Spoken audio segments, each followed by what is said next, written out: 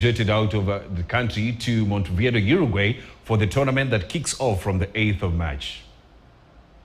Uh, we are going in as first uh, top seeds in, in, the men's category and second as the women's.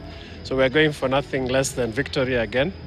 Um, we have worked hard. The team has been working very hard, uh, both teams, with the technical benches.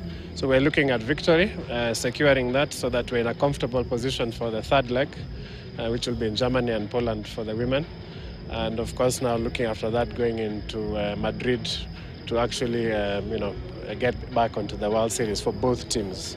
Of course, but we started on a, on a new slate uh, with a new team, new management. Uh, half the team that actually got us into the Olympics, uh, who won the Africa Cup in September, uh, were new. 50% of the team had never played for Kenya.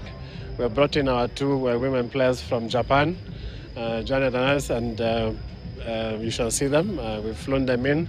They've trained with the teams and are off on Sunday uh, with the women's team. So we are very confident, but we're not overconfident because we are taking every tournament at a time.